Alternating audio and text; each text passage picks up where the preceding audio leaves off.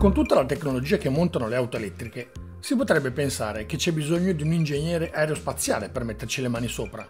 O così almeno direbbe uno come Ernesto Carbone, convinto tra l'altro che la loro manutenzione costi molto più di quella di un'auto tradizionale.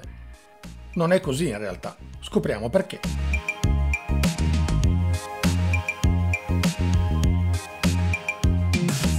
Se da un lato i motori a combustione interna hanno migliaia di parti mobili, quelli elettrici sono costruiti con poche decine di componenti e tendenzialmente non hanno bisogno di manutenzione, nessun filtro dell'aria o dell'olio da sostituire, nessuna cinghia di trasmissione che rischia di rompersi. Un motore elettrico richiede solo un controllo rapido con uno strumento diagnostico, in grado di rilevare eventuali codici di errore. Lo stesso vale per le batterie, che non hanno parti mobili. La diagnostica si fa su ogni singola cella e nel caso viene sostituita solo quella. Sotto esame anche i cavi ad alto voltaggio, di solito ben visibili e di colore arancione, per i quali è sufficiente un'ispezione a occhio nudo per trovare eventuali danni o collegamenti allentati. I cavi sono sempre ben protetti al riparo da sporcizia o detriti dalla strada. Richiede poca manutenzione anche il cambio, che è un semplice riduttore, una struttura meno complessa di qualunque cambio manuale, automatico o a doppia frizione.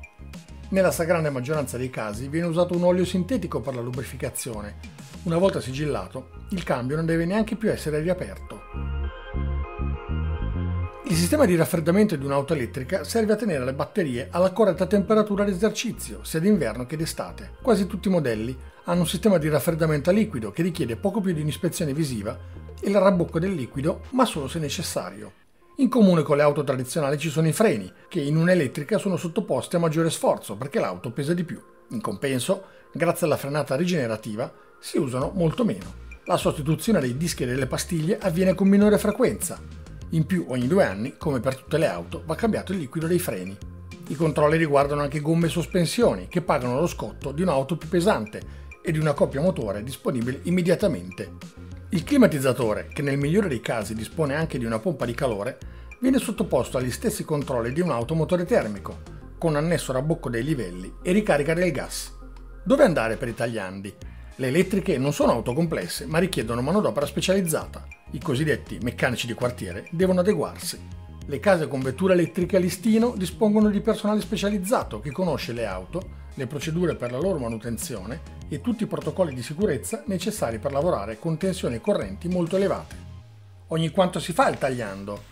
Per lo più lo decide il costruttore con gli avvisi dati dal computer di bordo dell'auto dopo un tot di tempo o di chilometri percorsi. Per tutti i componenti legati alla sicurezza, come freni e gomme, gli intervalli di tempo sono simili a quelli delle auto tradizionali. Ma quanto costano i tagliandi di un'elettrica? Gomme, dischi dei freni, pastiglie, liquidi, tergicristalli. Tutti i componenti in comune con le auto tradizionali hanno costi equivalenti, così come la manodopera. Eventuali parti danneggiate vanno pagate a parte, a meno che l'auto non sia ancora in garanzia. In generale, però, la manutenzione annua di un'auto elettrica costa poco più della metà di quella di un'auto tradizionale. Rimane l'incognita del costo delle singole celle di una batteria, che al momento non è noto, ma sappiate che si tratta di cifre rilevanti. A tranquillizzare gli animi ci pensano i costruttori, che per gli accumulatori prevedono coperture superiori ai tradizionali due anni previsti per legge. Mediamente sono garantiti fino al 70% dell'efficienza per 8 anni o un chilometraggio che va dai 160.000 ai 200.000 km.